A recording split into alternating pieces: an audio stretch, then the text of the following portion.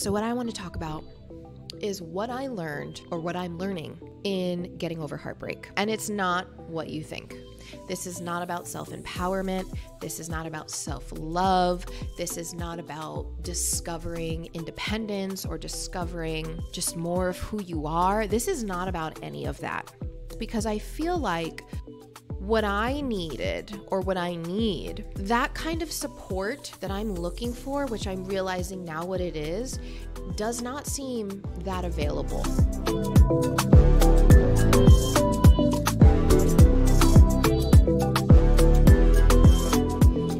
Well, hello, my friends, and welcome back to another episode of The Breakthrough Room. I'm your host, Kristine, and I'm really excited to get into today's episode. And to be honest with you, I don't know if this is the beginning of a season three or if this is just a special episode. So, normally, when I do start a season, I'm hit with all these topics and I'm just furiously writing, furiously, is that even a word? Furiously, that is a word. Well, we're gonna go with it. Um, writing down ideas, like just oozing with creativity. And I can't really stop the inspiration, it just keeps coming. And I am such a planner. Like, I don't think you understand to the extent of my planning abilities. I'm a little OCD. It's kind of problematic, but it soothes my soul. And when it comes to podcasting, I will map out how many episodes I want, what date we'll release it, what date will end, what topics we'll talk about. But to be honest with you, this time, not so much. In fact, I've been kind of going through it. I'm in this very uncomfortable season in life, which what we're what we're to get into. Um, I just I'm very stagnant, and that stagnation is that a word? My God, I feel like it's been a long time since I have spoken on the podcast. Anyway, moving forward, judge me later or judge me now. I don't care. Keep listening. That feeling of being stagnant just manifests in every area of my life, including my creativity. And my creativity is I think the biggest thing about me that I thrive off of, like it, it, brings me so much joy to be creative. I'm just at this block. Like I I don't know how to move forward. And I'm really learning how to surrender and I'm I'm praying and I am just waiting on God's timing.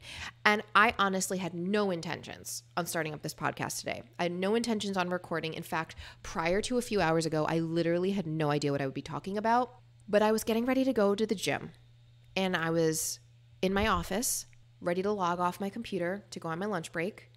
And I'm drinking my, you know, pre-workout, just just getting in the mental headspace. And I turn around and I look at the wall, and all of a sudden I hear record an episode today. Not literally hear the voice, but like internally heard that voice. And it was such a weird feeling when you get those types of messages when they come to you like that because it's very calming. Even in that moment when I said that, I didn't know what I was going to be talking about. I don't even know why I said we're going to do this today. But I didn't really question it. I just was like, interesting. Okay. Okay. I see where we're going with this. Let's let's let's let's let's talk this through.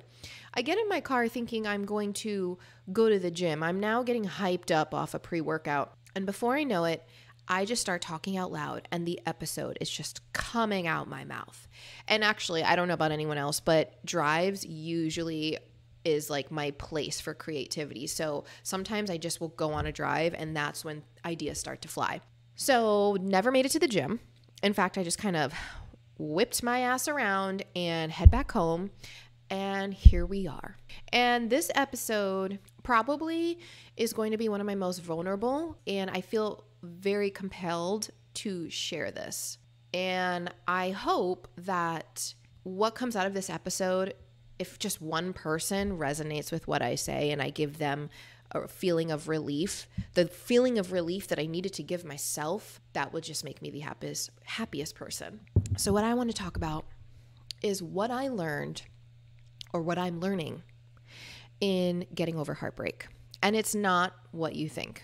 This is not about self empowerment. This is not about self love. This is not about discovering independence or discovering just more of who you are. This is not about any of that. And I'm sharing this because I feel like what I needed or what I need that kind of support that I'm looking for, which I'm realizing now what it is, does not seem that available.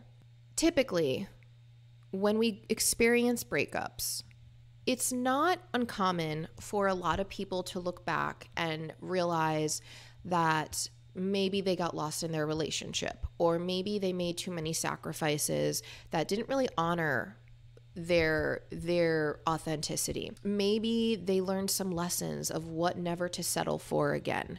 Um, they learned their worth. Those are all really common learning self-discovery moments when we go through breakups and heartache but that was not where i was at that was not the comfort I was needing or the lessons that I needed to find to feel better or to find closure. And for a while, the best way I could describe it is I've I've felt suffocated in grieving this loss of a relationship. And and here's here's something that I am learning is that heartbreak, ending relationships is a form of grief. Our brain, our heart does not understand the timeline of relationships. It does not understand how long it's been since that person left your life. Your mind doesn't get the difference all that well. In fact, I'm going to share this, but truthfully, I'm sharing this fighting my ego because I'm feeling embarrassed when I share this. In that this person that I am still learning to recover from he hasn't been in my life for over a year and a half. And the relationship we had was only a few months long. When you say that out loud, when I say that out loud, it sounds absurd. It sounds crazy. How could I still be trying to recover from losing someone that I only knew for a few months? How could I care so deeply for someone that they've impacted me this much? Well, heartache, grief, those things don't understand the timeline of things. It understands impact. And this person was extremely special to me. And dealing with grief is a hell of a hell of a cycle. I would say that I probably teeter back and forth in depression, going through the motions of life, unenthusiastic for things that I used to be enthusiastic for, just kind of feeling like there's a part of me that's missing, you know, and I and I keep saying I just want to be that person that I was before I met him. Like I want a piece of that person back. The person that was creative, ambitious, um, joyful, just so excited to tackle things. And I honestly just go through the motions. You know, it's it's an accomplishment for me to just walk through the gym doors. Doesn't matter what I do in the gym. That was not me. That was not the person today the person i am today is not the person i recognize prior to this this relationship it's been difficult to navigate all these very conflicting feelings there's a lot of shame that I experience in trying to navigate and heal from this experience. And I want to kind of go into two two main things that I've really learned. So the first thing, I'm actually not going to say I just learned this. I think I've always known this, but it's almost like it's connecting to a place where I am starting to accept it. So one of my flaws is that if you are in my soul, if you are in my circle, if you're in my circle of love and I consider you a close friend or a sister, whatever, right? I almost expect that person to support me the same way equally. Like everyone should be able to meet a standard of support. And if they don't, I feel like I'm not heard. I feel like I'm constantly defending myself. And here is where I had to wrap my head around it because all the advice and all the support that I'm giving comes from only but love. Only but love. But not everyone can support you in the same way because, first, as humans, when we give advice, we usually give advice from a place of our own worldview, our own experiences. And your perception of relationships and love and heartbreak and how to recover and independence and all this stuff comes from how you experienced life. So, to someone that hears me openly say, I desire a relationship, they may take that as I desire a relationship because I'm trying to fulfill myself and that that relationship will complete me. And this is where we're different because while some person or persons may go through different experiences in life where they realize and look back that they were sacrificing too much of themselves, that they were using relationships to fill a void, or maybe they saw it from other people. And listen, I, I am going to say, like, my younger self for sure. I would, I, we all did. We didn't know what we were doing when we we're younger, right? And where we're at today, we're in a very healing generation. We're really trying to do better. So we're all figuring it out no judgment. But where I'm at today is I've lived my life as a single woman. Literally, I, I haven't had a relationship technically, and that's another story. Technically, my only and last relationship was over 10 years ago. I, I don't even count it. We're going to have to save that for another episode. But if I'm not a liar, so technically, but I have lived my life as a single woman. I didn't stop living because I desired a relationship. I have accomplished a lot of things that I'm so proud of. I have done things, I have challenged myself, I have done things to help myself grow because that's what I wanted. It didn't stop me. I didn't wait for someone. But desiring a relationship just means that I really want to share those things with someone. What I hate when it comes to being a female and vocally saying you desire a relationship, people automatically label you as desperate and, you know, you don't have worth or you don't know who you are. And no, you know, a woman can desire, deeply desire a relationship and also be really fucking complete without a man. And she can say those things and it shouldn't be projected on to her that she doesn't even know who she is. So, I'm giving that as an example because someone could be giving me advice from all the love in the world, but they're giving advice to the person that they are. So if they were me, that's who they're talking to. They're not talking to who I am. If we don't understand the other person, we judge them and we label them. And it's judgment. It's not it's not malicious, but if someone looks at me and they can't understand why I'm still holding on to this person or why I feel so deeply for this person for whatever their reasons why they don't think I should feel that way, they will label it as she was seeking fulfillment out of him. They will label it as she thinks she doesn't deserve better, right? Because they don't understand it. And in ways I can't fault them for not understanding it because we experience life differently and they're not in my brain. So I'm not the epitome of healed person. But what I can tell you is I've done enough work.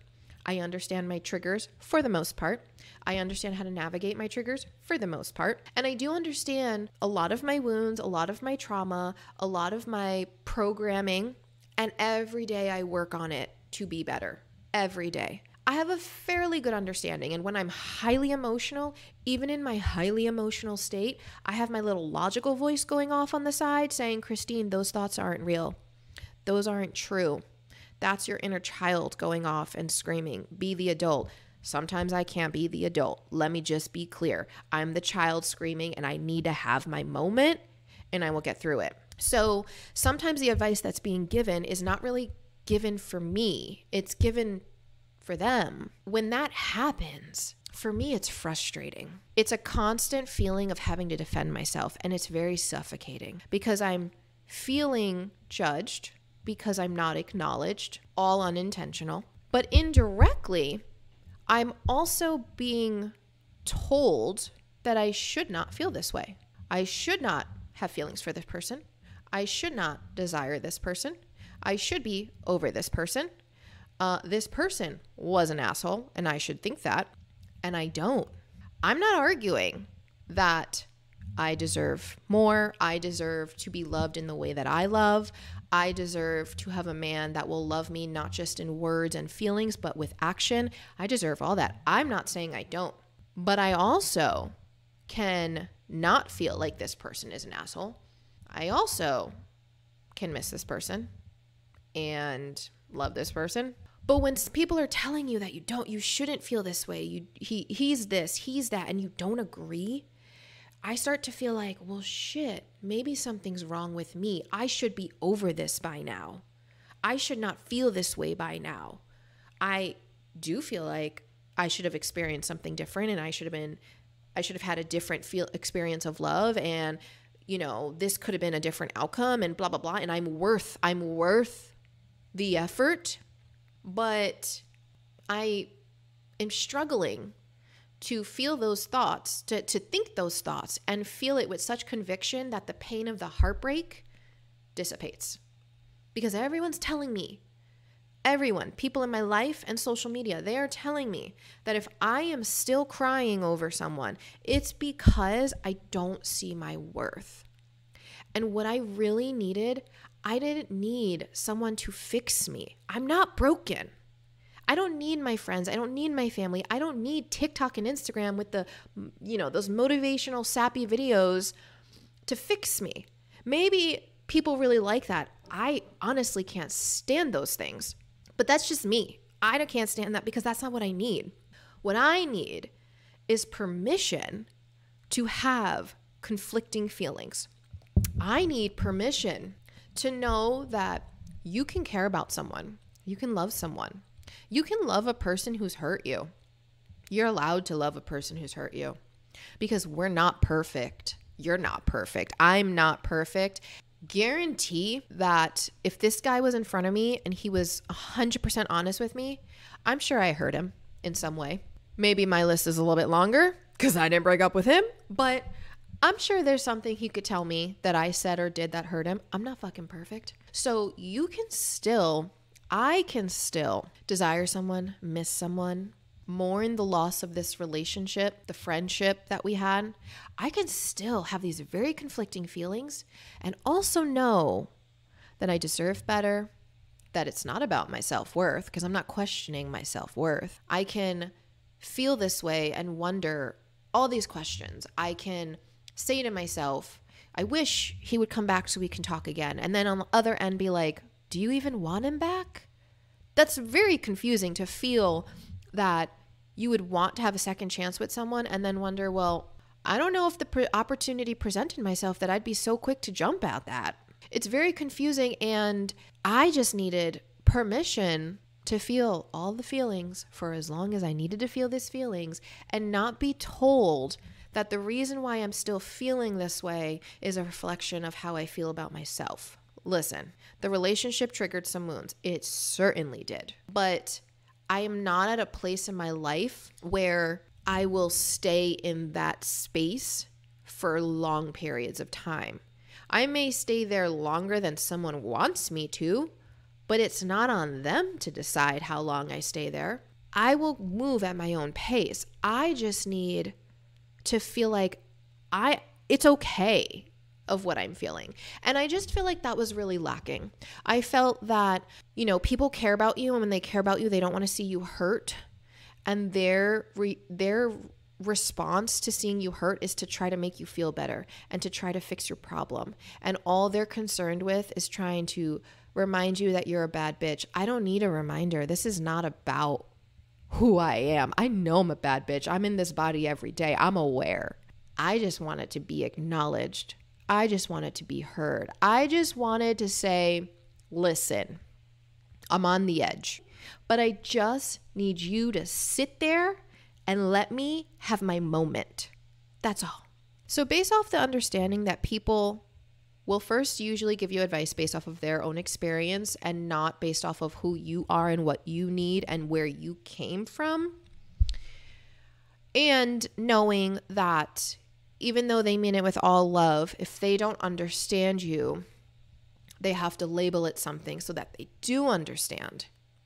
That just means not everyone can support you, or you can't go to them equally for the support that you're looking for. And just because you can't talk to someone about something as openly as you can with another, it doesn't mean there's distance in your relationship. In fact, you can still talk to those people equally as open, but some of them you just may have to pick and choose, cherry pick the advice you like and not get too caught up on feeling misunderstood. And that's something I need to work on. It's that's that's a wound of mine is constantly feeling misunderstood and having to defend who I am because I just so desperately want to be heard. Not everyone can hear you, but it's not because they don't want to. It's because they don't have the experience to hear those those frequency, that volume, that music. They've never they don't know what to do with it. And that's okay. So that was one of my big lessons I've learned in heartbreak. And my second one, this this one, whew, this is going to challenge me for the rest of my life, and that is giving up control. When we first, it's very normal. When we first go through heartbreak, we obsess over all the details and replay everything over and over again and try to figure out where it went wrong. What could we do differently? Why what is the real reason? What is the real reason why this relationship ended? Cuz it can't be what he told me. Doesn't make sense. I I I do not accept. And so we just obsess and it's very normal because we're trying to make sense of our pain. But it's also very controlling, right? Because because I can't accept that the other person made this decision, that means I need to obsess in trying to control my emotions by creating a narrative that will make me feel better. But nothing will actually make me feel better. In fact, I know in my heart that this man gave me as honest of a reason and explanation as he possibly could. I know that in my heart. But he will never be able to say it in a way that my controlling side will be able to accept because he's not saying it in the way that I want to hear. In the way that I want to hear, he is not saying it that way. So I will never be happy. I will be like, that doesn't make sense. And there is parts that it doesn't make sense to me. I'm going to be honest. But there's also just, again, context to our lives. We have different experiences. Therefore, we see things differently. Sometimes we just won't be able to accept a difference in understanding on how you live. That, that beginning step of a breakup is very, very common, is to kind of go through and make sense of the things, those things. The next question I kept asking myself, though, from the beginning is God, why would you let this happen? Why would you bring a man into my life? Why would you allow, allow me to feel so deeply for this person? Why would you allow this person that seems to be, I'm going to say this word loosely, perfect for me, and then rip him out of my hands as quickly as you brought him in them? Why would you do that? And I don't understand the reason. And I would obsess over that. God, why? God, why? God, why? Because I couldn't just accept that maybe there was answers that I didn't know. I couldn't accept. I could I could I could create theories left and right, but my controlling side wanted to know. And I did eventually. it's taken me a year and a half to actually realize one of the reasons, if not the reason, why this had to happen, and that was to push me closer to God. I'm not, I actually would like to share that story another day and how I connected all these pieces and the crazy signs that came up. But look, just real quick, looking back, every single man I've ever, ever been involved with pulled me away from God. This was the first one that pushed me towards Him. He doesn't even realize it, but He did. And so I know that was one of the reasons, right? But what I can't or what has been a struggle in getting over the controlling part is that, okay, I know this reason I shouldn't feel this way anymore. Or, okay, I'm feeling these feelings. I should be able to fix this. Okay, fine. I may not be able to have the reason, but how do I fix this? I want to control it. I want to control the timeline of when I will feel differently, and that is not possible. I cannot control, and this is what I finally came to terms with I cannot control how soon I'll feel better. But what I can control are my efforts in trying to get there. So giving 100% doesn't look the same every day. It just doesn't. Whoever made you believe that is moving through life with a perfectionist survival survival mode attitude. Like and I've been there, I don't want to go back. I hate it there. Please don't make me go. Sometimes my 100% is 40%. Sometimes my 100% is 110%. It's just different every day. Sometimes my biggest accomplishment is putting on a, a real bra. And then other times, my accomplishment is having a bomb ass workout. I can't control how soon I feel better, but I can control what I do to try and help myself. I've dove into my spirituality. I joined a church. I'm doing a spiritual fast. I pray and talk to God every day.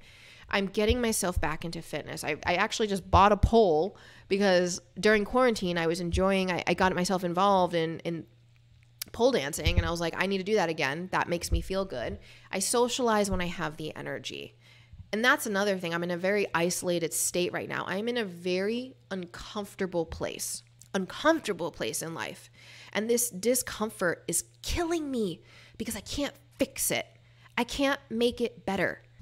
And that's part of this control is accepting how to coexist with this heartbreak.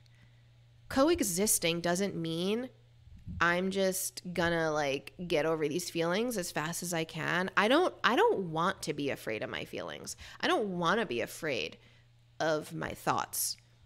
I know a lot of people try to distract themselves and I try to distract myself to grow, not distract myself to avoid. So how do you coexist and honor the feelings that you're having, the grief that you're going through, the confusion that you're experiencing? but still find joy in your life when it's difficult to get out of bed. And I've accepted that I have no control over this timeline. And that's probably the biggest thing that I will always have to practice is letting go of that control. And right now, I keep trying to remind myself that as much as I keep saying I, I want a piece of that person back, that me, the woman I was before I met him, I'm I'm realizing I'll never be that person. This this phase in my life is full of confusion and isolation by choice and, and not by choice. It's sort of situational. And there is a lot of discomfort in feeling like I can't fix myself, can't make myself feel better, no matter how hard I try. But I'm like, you know what? This is this is this is my season. This is the season my a season I'm in. And maybe this would have been triggered by something else. Maybe it wouldn't have been triggered by this heartbreak had we been together. Who knows? Who knows? But this is the season that God put me in. And there's a reason for it. And I know at some point I'm going to come out and I'm going to be a more evolved and brighter version. And this heartbreak is not about my self worth, the feelings that I'm going through. It's not about that. Giving up control over when you'll feel differently, I think is a huge thing. And I think the moment I accepted that I have no control over my timeline of healing and I'm allowed, I gave myself permission to feel how I feel. That's a lot of when the weight started lifting off my shoulders because I was relieving myself of the shame the shame of feeling like I was supposed to be at a certain place and feel a certain thing about a certain person at a certain time of my life that I didn't fucking feel. And I wasn't there. So I really hope all that made sense because, like I said, my uh, planner type, it would have had an outline of this podcast and I really just spoke from my heart. I really felt like I needed to share this. And maybe this will just be for me. Maybe this is part of my healing. I mean, it is part of my healing. But I do think we need more messages out there for people that are going through heartbreak that doesn't always surround someone's self worth because it's not always about that. You're allowed to be complete and really fucking miss someone. I hope it reached someone's heart and gave them a little relief because I really needed that message over the last year and a half. So I don't know what our future holds with the breakthrough room. I don't know if we'll have another episode next week. I am giving up control. For right now, I am staying present in this very moment in that this was what I needed to do for this very this time in this space. And hopefully you and I will talk soon. So, if you like the episode, if you like the podcast, please like, subscribe, follow, leave comments, whatever your platform has you do, please do that. And follow me on my Instagram. It's the.breakthrough.room. Interact with me. I would love to hear what you have to say about this episode, have some conversations about it. Would love to hear your perspective and, and what resonated with you and what didn't. So I'll talk to you soon, guys. Thanks for listening.